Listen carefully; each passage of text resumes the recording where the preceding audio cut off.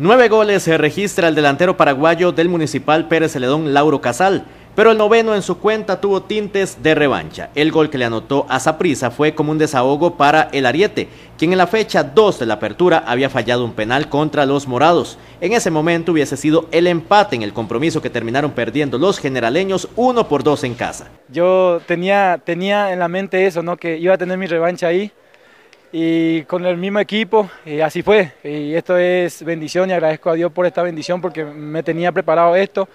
Y es más, no tienen preparado cosas grandes, así que estamos ilusionados. Eh, se me eriza la piel hablando de así porque eh, como uno eh, tiene experiencia en esto y, ya ha ganado cosas, pareciera que ya, ya había pasado estos momentos. Entonces yo creo que vamos por buen camino y es paso a paso como venimos haciendo, humildemente y entrar en la cancha como guerrero, como lo que nos llaman, ¿no? Y es que en este campeonato los relevos de los guerreros del sur ingresaron con gol.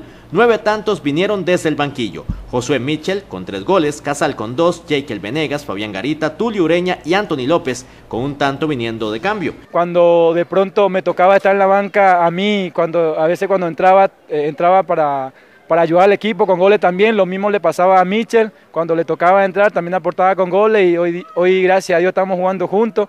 Estamos haciendo, eh, estamos haciendo un dolor de cabeza, diría yo, para los centrales por la por el porte, ¿no? Por, lo que uno genera ahí, eh, por, la, por la fuerza y todo. El municipal de Pérez Celedón enfrenta este miércoles al Santos en una verdadera final.